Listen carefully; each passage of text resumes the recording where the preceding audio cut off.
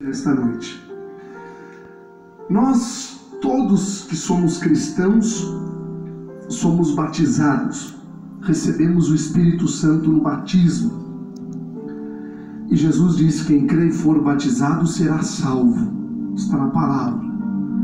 O Espírito Santo é o nosso paráclito, que significa o quê? O defensor, o advogado.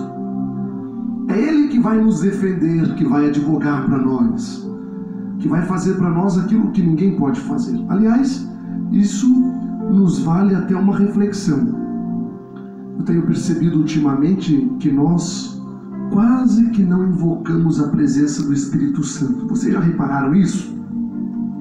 Isso é muito triste e muito preocupante. É preciso que tomemos esta consciência como cristãos e passemos a viver mais o Espírito Santo. O Espírito Santo foi Jesus que nos mandou de presente, garantindo que nós não ficássemos órfãos, garantindo que ficássemos protegidos. Eu estou vivendo uma experiência nesses últimos tempos em que eu tenho descoberto de fato quanto é importante a ação do Espírito Santo na nossa vida. Hoje, por exemplo, eu tenho uma assessoria jurídica, jurídica eu tenho um advogado e ultimamente eu tenho ido bastante no escritório do meu advogado, da minha advogada, para tratar de vários assuntos. Aí sim eu percebo o como é importante ter o Espírito Santo, invocar o Espírito Santo. Porque o Espírito Santo também é comparado ao advogado. Ele nos protege, ele nos livra do mal, ele nos garante a verdade quando eu chego com um contrato e aí eu entrego nas mãos dos meus advogados, eles me dizem assim: não assine esse contrato, padre, não é bom para o senhor. Mas tem sempre alguém que vai dizer: padre, este contrato é milionário. Mas na verdade, quem vai dizer se vale a pena assinar ou não é o advogado, é a assessoria jurídica. Eu confio para isso. Porque eles leem, eles me explicam, eles dizem assim: se o senhor assinar esse contrato, o senhor vai se dar bem. Mas só que esse contrato pode trazer várias consequências, boas ou ruins. O que, que eu quero dizer com isso, meu querido, minha querida? O dia em que nós cristãos, de fato, descobrirmos a importância do Espírito Santo na nossa vida, nós teremos uma vida nova, nós teremos uma vida diferente, porque é Ele quem vai nos indicar o caminho, é Ele que vai nos mostrar a verdade, vai nos defender de todos os males do corpo e da alma.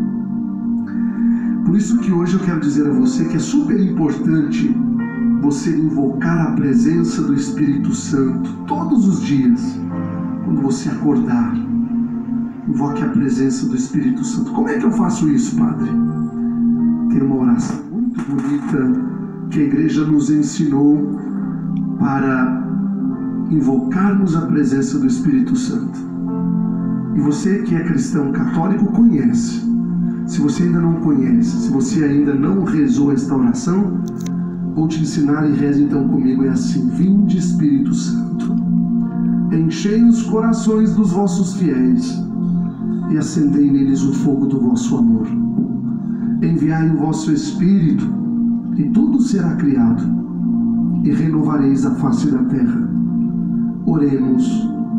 Ó Deus que instruístes os corações dos vossos fiéis com a luz do Espírito Santo Fazei que apreciemos retamente todas as coisas, segundo o mesmo Espírito, e gozemos sempre da Sua consolação.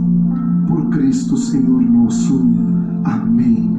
Eu navegarei, maestro. Conhece essa música? É um Lá menor, eu acho, não é? Eu navegarei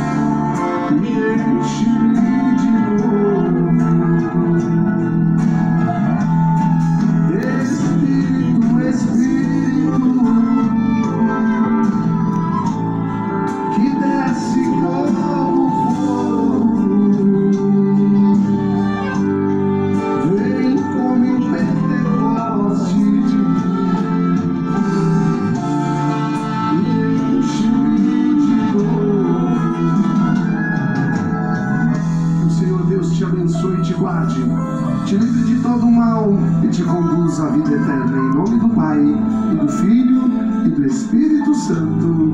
Amém, amém e amém.